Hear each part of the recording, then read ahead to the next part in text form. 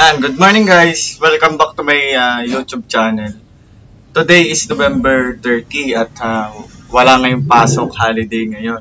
Then, uh, ang plano ko gumawa ko ng mga activities ko para hindi tayo masyado matangbakan. Pero, before natin gawin yung ating activities, mag-repair muna tayo ng microphone.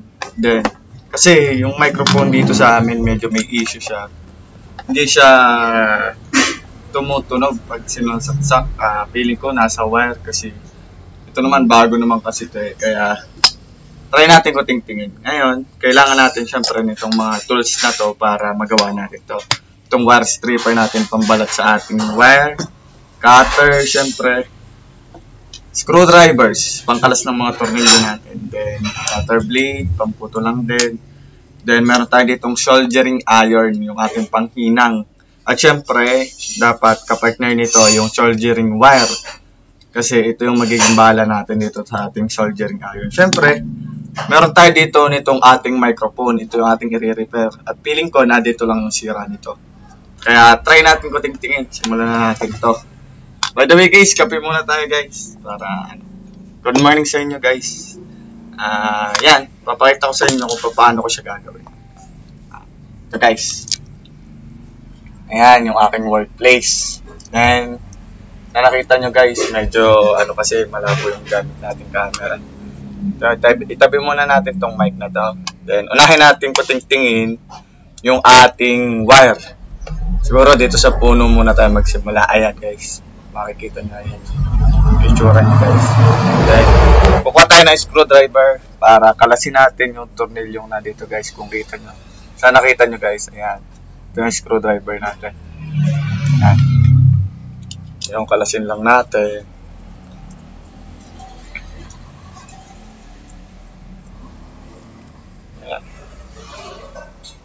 Kalas ko na siya guys. Then, hugutin lang natin siya. Ayan, hugot na. At, ayun, medyo confirm nga na dito yung asira niya. Sana wala nang iba. Kung makikita nyo guys, itong puti, itong puting wire, natanggal siya sa pagkakahinang dito sa isang uh, paa niya. Kaya, hihinangan natin siya ngayon para matesting natin kung gagana. Then after natin hinangan, tetesting lang natin kung kung tutunog ba siya, isasaksak natin siya sa amplifier. Then, gamit tayo nitong cutter, ah, itong wire stripper pala, para pambalatan natin yung wire. Yan. Okay?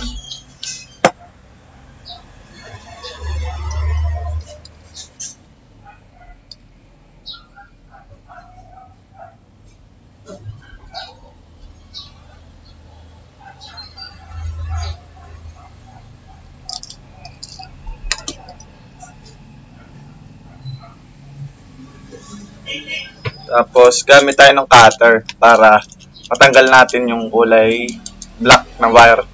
Ingat lang guys ha. Para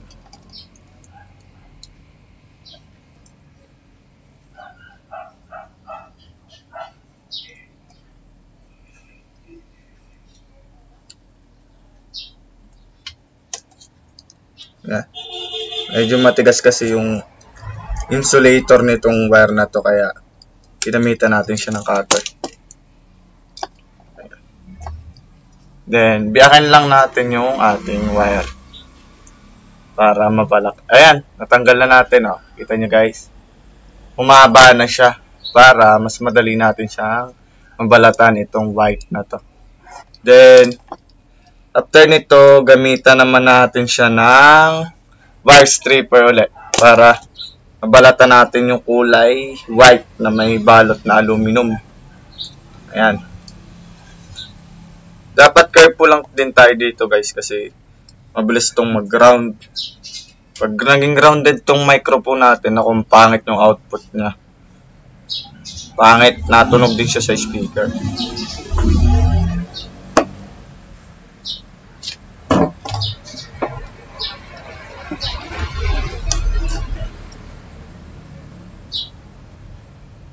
Then, isaksak na natin yung ating soldering iron. Ito, ingat lang tayo dito guys kasi nainit nga to. Para uminit na siya. Yan, then, gumamit tayo ng wire stripper para balatan natin yung kulay puti na wire. Ayan, ganyan lang kadali guys. Kasi,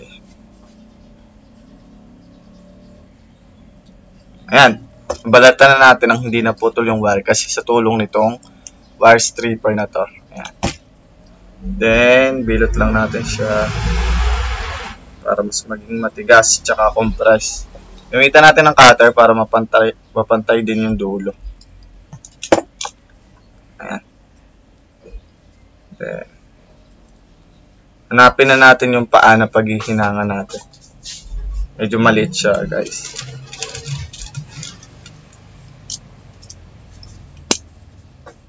Casey, pabot ng ano, electric tape.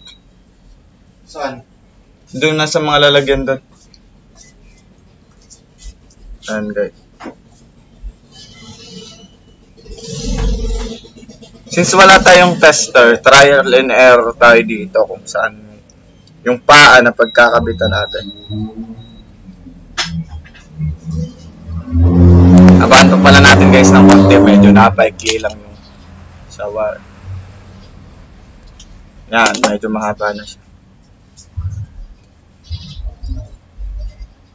papakuha tayo sa kapatid natin ng electric tape para balutan lang natin ng konti. Although, i ihihinang natin siya, pero babalutan ko pa rin siya ng tape. Para mas safe. Prone kasi itong mga microphone sa grounds, kaya ang pangit ng output niya kapag may grounds yung mga ganitong klaseng device.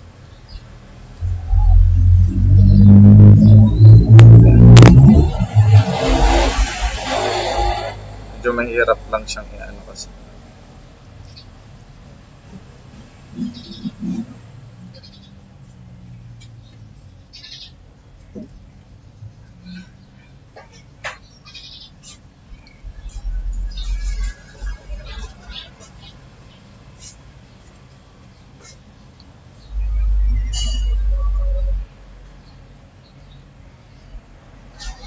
Oo, ama. Ha?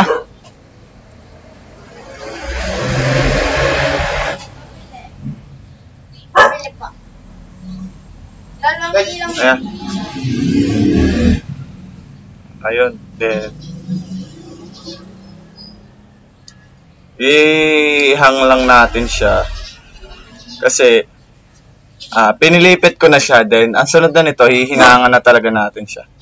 Kasi, hindi siya titibay kung wala nung panghinang. Then, ayan. Ano lang natin siya. Then, yun. Medyo mainit na yung panghinang natin. Pwede na natin siyang hinangan. Sana makita nyo guys. Para, kasi medyo malabo yung gamit natin na camera ngayon. Wala kasi tayong device. Ah, nakikiharam pa lang tayo ngayon. Kaya, sana soon meron na. Ayan, medyo hindi ko man. Yan.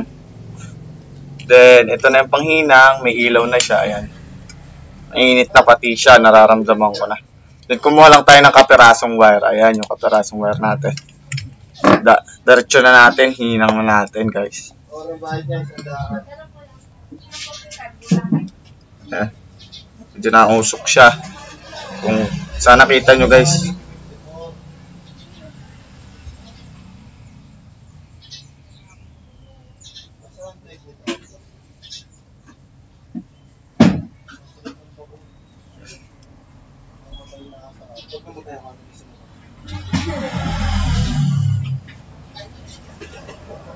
Ayan,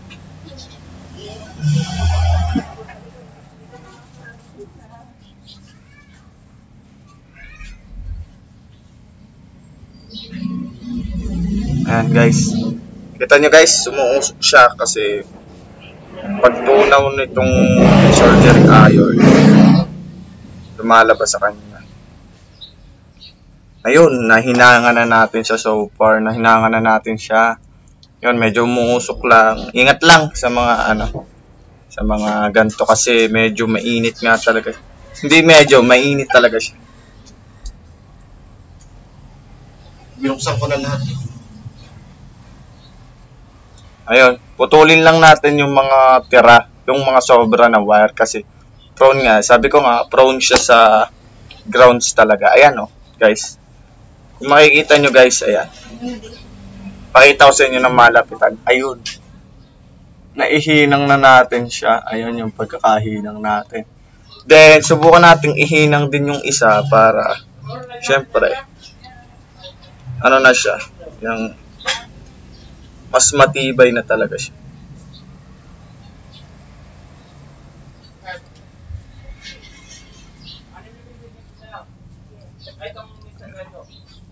Sana gumana guys.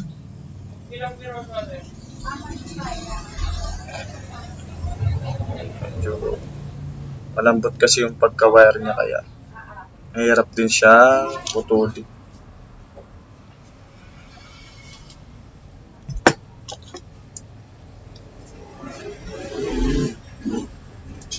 Yan. Yan, nakahinang na siya guys. Makikita nyo, ang tigas na nung kabila guys. Then, hinangan na din natin tong yung mahabang wire para ah, mas maganda yung kalabasan. Buka lang natin kaunti ito guys.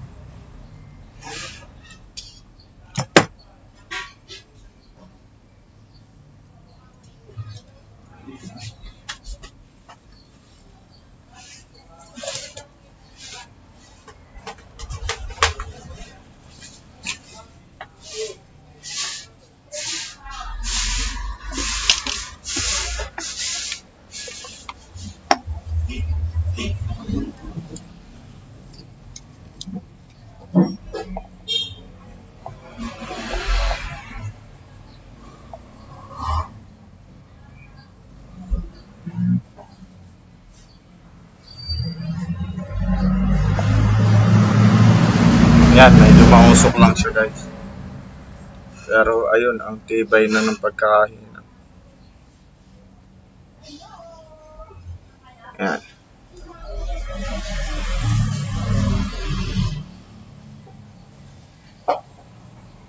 Yun. Bugutin na natin siya kasi sobrang init na niya. Then,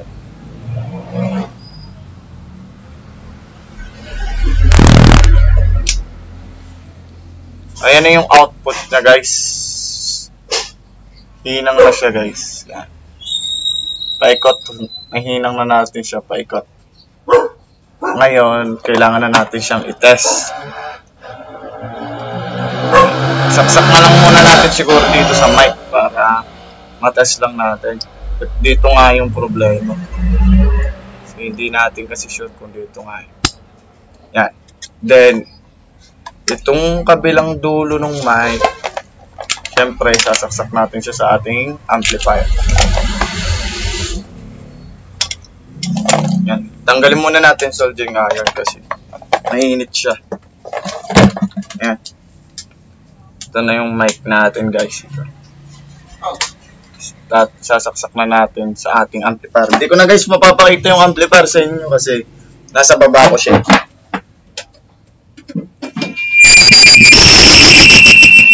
Ayun. Nakapix kasi yung ating ampli guys. Nakapix sa baba. Ngayon sinaksak ko na siya sa amplifier natin. Ayan, hindi ko pa siya nalalagyan itong ating cover. Kasi, ah, itetest muna natin siya. Tapos sinaksak ko na sa baba yung amplifier, then, try natin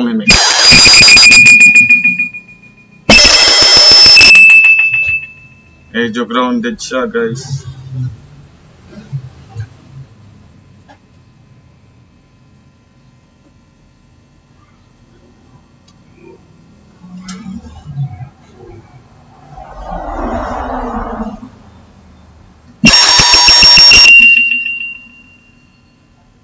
Ah, para may problema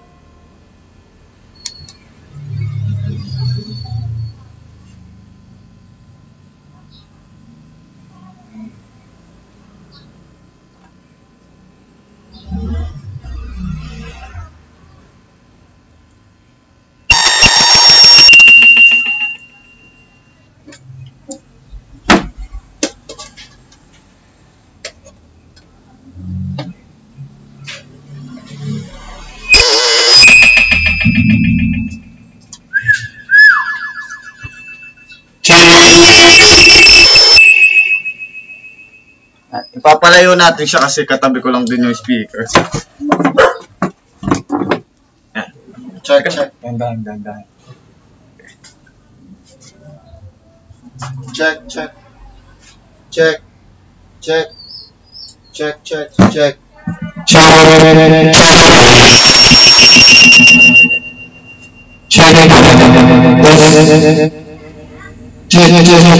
Yan. Kung maririnig nyo guys, gumagana na yung ating mic.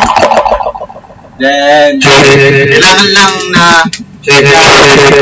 maano siya, kailangan lang na malayo siya kasi nga yung speaker na nasa tapat ko lang.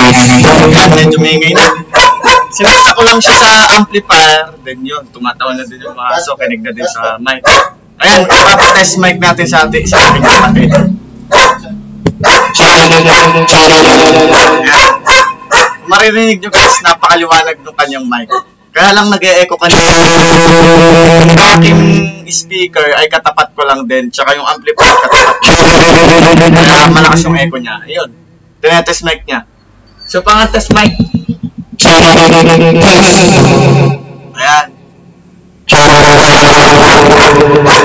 Thank you guys sa panonood. So far, yun lang muna yung ating ire-repair. At ah, marami pa tayong ire-repair na susunod. Kaya sana mag-subscribe na kayo sa aking channel at hit nyo yung notification bell para lagi kayong updated sa mga ginagawa ko. Ayun guys, salamat sa panonood sa inyong lahat. Sana nagustuhan nyo tong video na to kahit uh, ni-repair lang natin yung mic. At sana sa susunod, panoorin nyo pa rin yung aking channel. Salamat guys. Bye. Subscribe.